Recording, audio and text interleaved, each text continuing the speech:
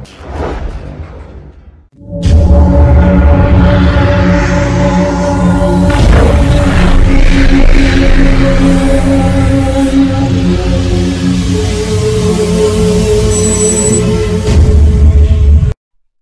friends, press the subscribe button and hit the bell icon for more such easy videos. Hello friends, I'm back with a new video and this video is going to talk about TS of monocot stem.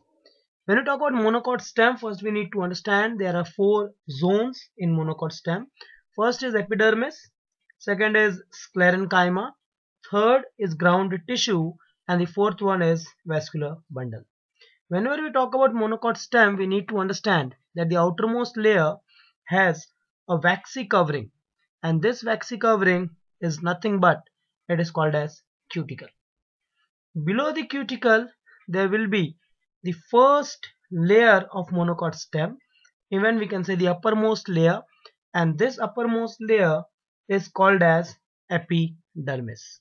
Now when we talk about epidermis we need to understand that it is a single layer of cells. It has cuticle and it has stomata. Below epidermis we find specialized layer that is called as hypodermis so this layer basically which i'm drawing is hypodermis when we talk about hypodermis what they are made up of so we can say that this hypodermis is made up of scleren chyma cells or we can say sclerenchymatous tissue which is 2 to 3 layer of cells. With respect to the next part it is the vascular bundle and we talk about vascular bundle it is xylem and phloem and how is the xylem and phloem in monocot stem we can say it is conjoined collateral and closed when I use the word closed it simply means that there is no cambium in case of monocot stem the vascular bundle is scattered in the cortex. Only in monocot stem we find this that the phloem parenchyma is absent. The protophloem is broken.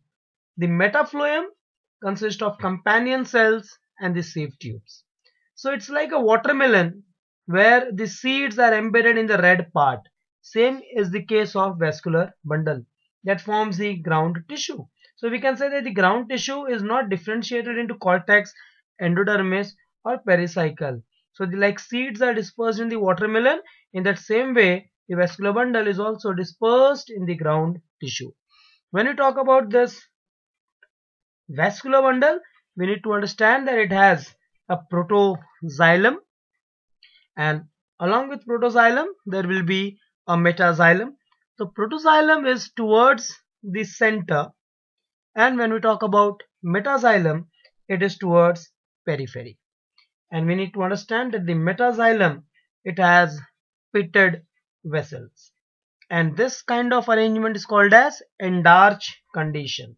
What is endarch protoxylem towards center and metaxylem towards periphery and below this there is a lysigenous cavity that is it's present lower to the protoxylem it is non-functional and it's a water-filled cavity. Below this lysigenous cavity, there are sclerenchyma cells. Hope friend you have understood the monocot stem in a very simple way. Do give a like to the video and if you are new to the channel, don't forget to subscribe. Thank you very much.